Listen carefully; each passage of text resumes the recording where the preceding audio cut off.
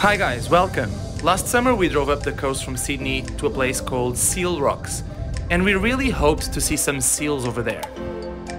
Guys, look at this. This is one of the best places you can reach from Sydney. It's like three hours drive. Look at that. Do you like it? At the first glimpse we couldn't find any seals, so hopefully they are hidden somewhere behind the rocks. How beautiful. Like, the colors are just... If you want to have a little break from the Sydney beaches, like Bondi, and you want to see something different, almost like tropical, this is the place. You gotta go down here, and voila, the colors. Okay, time to look for seals and sharks using the drone.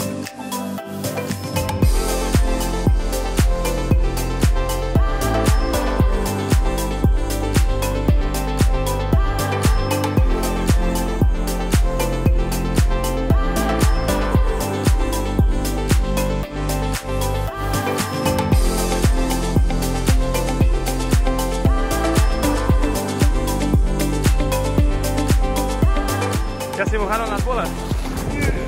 We later discovered online there is some evidence that a breeding colony of seals once existed at Seal Rocks. But the species no longer breeds here and the colony was lost. Tropical.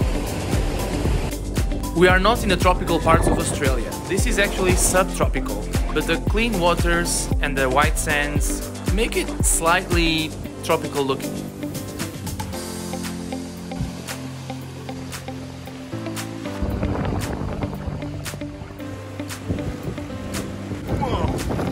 I found the model. The Australian lifestyle, right here.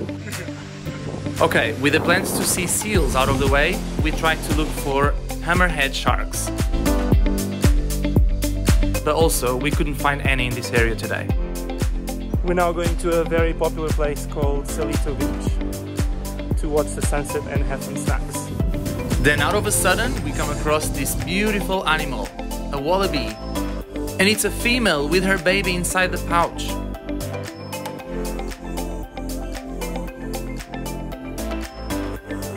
Off she goes now. This is amazing here. You can really see the weather is becoming more tropical. There's a lot of palm trees everywhere.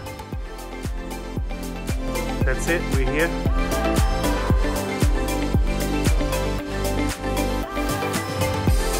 And to end our trip, there's nothing like an amazing sandy beach to watch the sunset.